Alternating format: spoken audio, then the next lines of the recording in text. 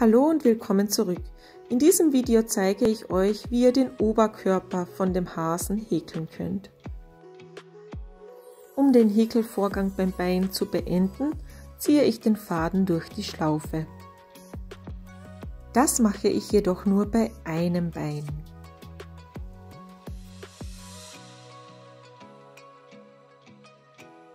So, als nächstes möchte ich die Beine miteinander verbinden.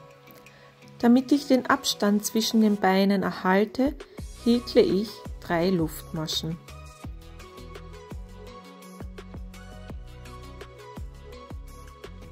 Eins, zwei, drei. Achtet darauf, dass die unschönen Seiten am Ende der Beine in die gleiche Richtung schauen. Das wird später nämlich die Rückseite vom Hasen.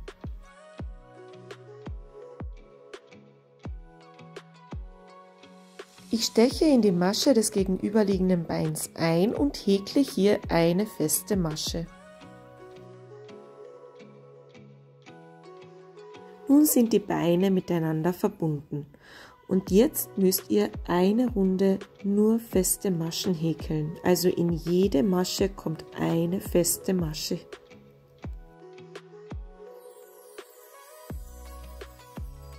Häkelt fürs erste so weit, bis ihr zu den drei Luftmaschen kommt.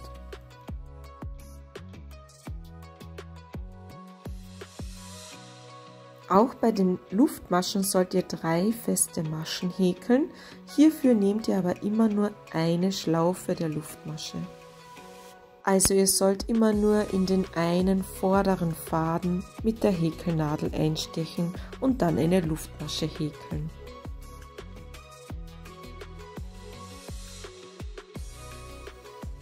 Im Anschluss daran häkelt ihr wieder ganz normale feste Maschen bis ihr wieder zu diesem Zwischenraum kommt.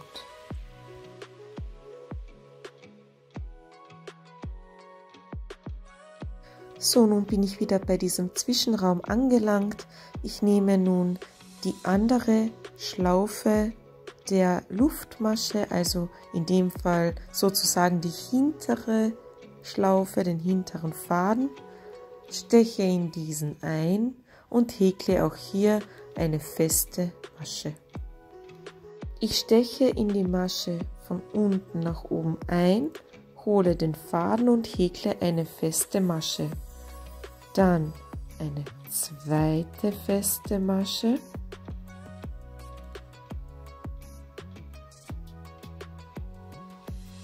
Ja, noch einmal eine zweite feste Masche.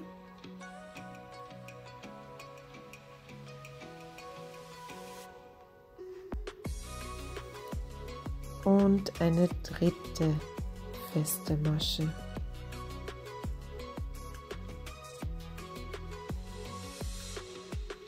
Achtet darauf, dass wirklich nur ein Faden auf eurer Häkelnadel dann aufgenommen wird. Gut, das wäre nun geschafft. Ich habe einmal eine Runde rundherum gehäkelt. Nun bin ich am Anfang der nächsten Runde. Bevor ich aber nun weiter häkle, werde ich noch den Faden am gegenüberliegenden Bein vernähen. Ihr wisst nun ja schon, wie das geht. Also bitte den Faden vernähen und dann wird weiter gehäkelt.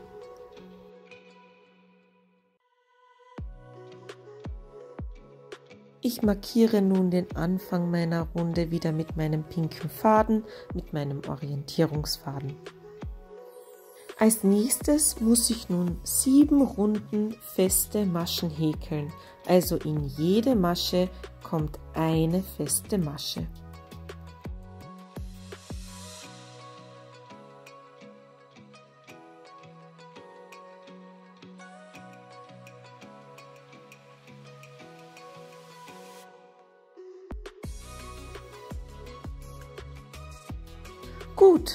Habe ich sieben Reihen feste Maschen gehäkelt, bin jetzt wieder am Reihenanfang und nun wird wieder das Bündchen der Hose gehäkelt. Das kennt ihr ja schon vom Hosenbeinende. Gut, fürs erste lege ich wieder meinen Orientierungsfaden an den Anfang und nun müsst ihr wieder darauf achten, dass ihr bei der Masche in die vordere Schlaufe einsticht, also nur in den vorderen Faden. Da stecht ihr mit der Häkelnadel ein, holt euch den Faden und häkelt wieder eine feste Masche.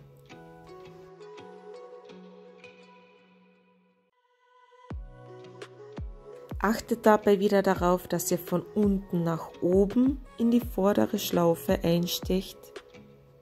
Es kommt jetzt wieder in jede Masche nur eine feste Masche hinein und das eine ganze Runde lang.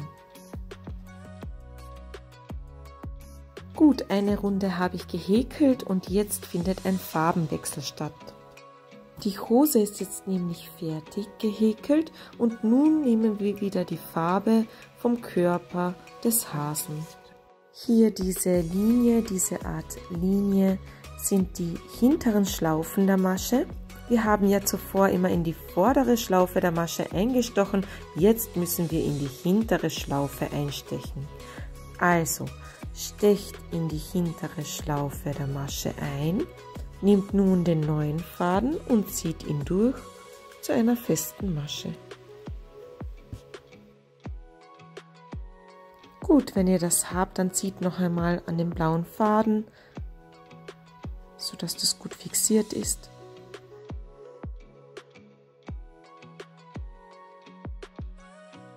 Gut, und für die nächste Runde steche ich immer in die hintere Schlaufe der Masche ein und häkle eine feste Masche. Also immer nur eine feste Masche in jede Masche.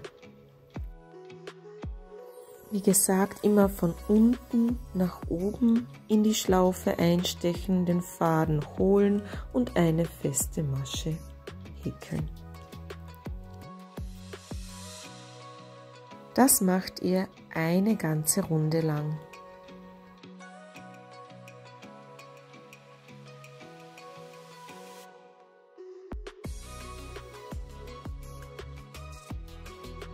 Nun bin ich am Ende der Runde angelangt. Wenn ihr nun eure Häkelarbeit begutachtet, werdet ihr erkennen, dass ihr hier ein schönes Bündchen der Hose erkennen könnt. Es ist wirklich ein schöner Übergang zum Körper des Hasen. Die unteren Fäden schneide ich nun ab und werde diese vernähen.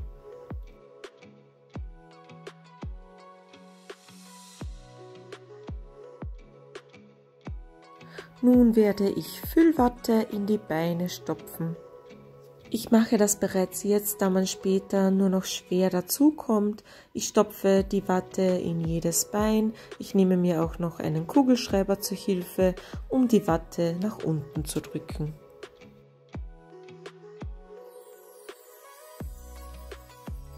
Gut, die Beine wurden so, nun mit Füllwatte befüllt. Füllwatte befüllt. Jetzt wird weiter gehäkelt. Ich lege meinen Orientierungsfaden wieder zum runden Anfang.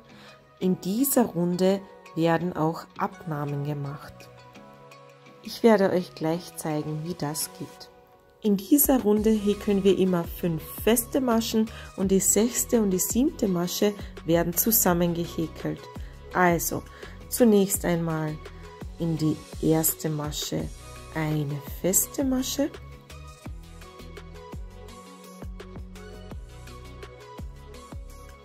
Eins, zwei,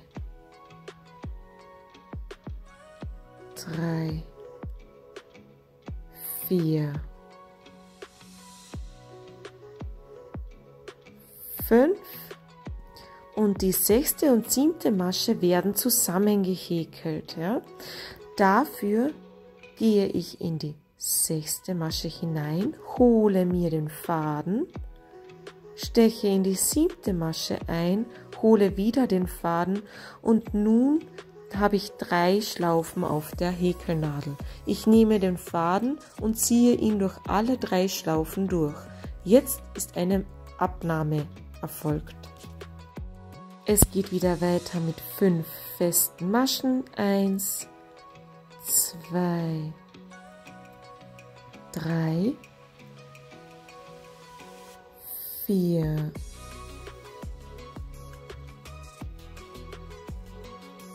fünf. Und die sechste und siebte Masche werden wieder zusammengehäkelt, also es erfolgt eine Abnahme. Ich erkläre es noch einmal kurz. In die sechste Masche einstechen, den Faden holen, in die siebte Masche einstechen, den Faden holen und dann durch alle drei Schlaufen den Faden durchziehen. Es folgen wieder fünf feste Maschen.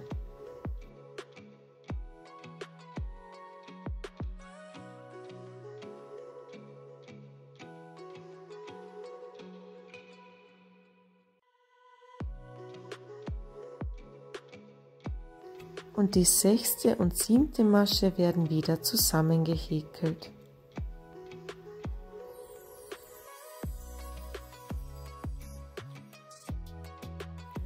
Dieses Wechselspiel von fünf festen Maschen und einer Abnahme, also die sechste und siebte Masche zusammenhäkeln, setzt ihr nun fort bis zum Reihenende.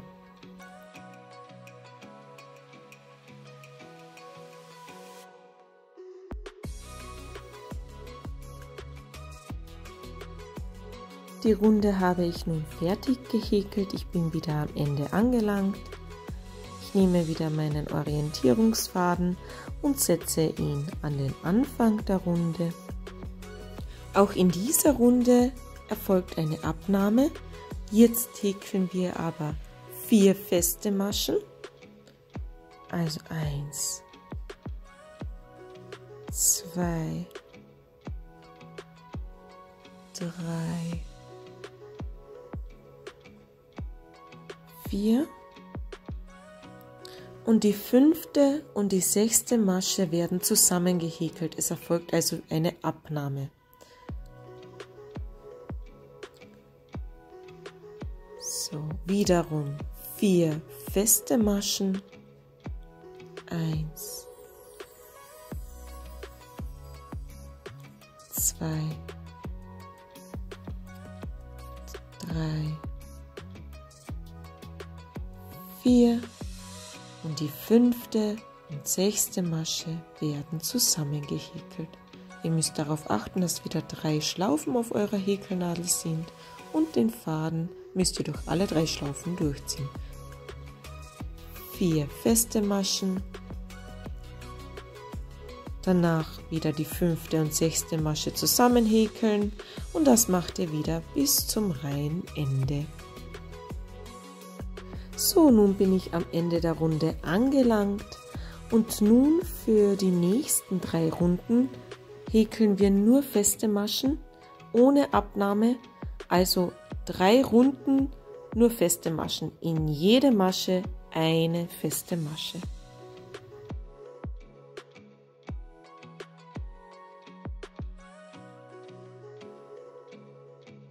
Ich habe jetzt drei Runden feste Maschen gehäkelt und jetzt in der nächsten Runde müssen wir wieder eine Abnahme machen. Jetzt ist es so, dass wir drei feste Maschen häkeln und die vierte und fünfte Masche häkeln wir zusammen. Also eine feste Masche, zwei, drei, und jetzt die vierte, Faden holen, fünfte, Faden holen, häkeln wir zusammen, also eine Abnahme. Wieder. Eine feste Masche, zwei feste Maschen, drei feste Maschen. Und die vierte und fünfte Masche häkeln wir zusammen.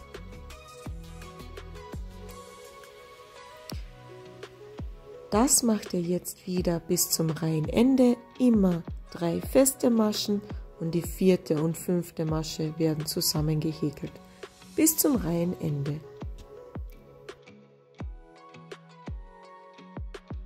Ich bin nun am Reihenende angelangt. Nun häkeln wir zwei Runden lang feste Maschen ohne Abnahme. In jede Masche eine feste Masche, zwei Runden lang. Nun habe ich zwei Reihen feste Maschen gehäkelt. Jetzt erfolgt wieder eine Abnahme. Ihr müsst nun zwei feste Maschen häkeln und die dritte und die vierte werden zusammengehäkelt. Also eine feste Masche, zwei feste Maschen, dritte und vierte Masche werden zusammengehäkelt, also eine Abnahme. Nun wieder eine feste Masche, zwei feste Maschen und die dritte und vierte werden zusammengehäkelt. Eine Abnahme. Das macht jetzt wieder bis zum Reihenende, also immer zwei feste Maschen, dann eine Abnahme. Zwei feste Maschen, dritte und vierte werden zusammengehäkelt bis zum Reihenende. Ich bin wieder am Ende der Runde angelangt und nun müssen wir nur noch drei Runden feste Maschen ohne Abnahme häkeln und dann ist der Oberkörper fertig gehäkelt. Also wieder in jede Masche eine feste Masche häkeln für drei Runden. Ich habe die drei Runden feste Maschen fertig gehäkelt, der Oberkörper ist nun fertig und dieser wird jetzt noch mit Füllwatte befüllt.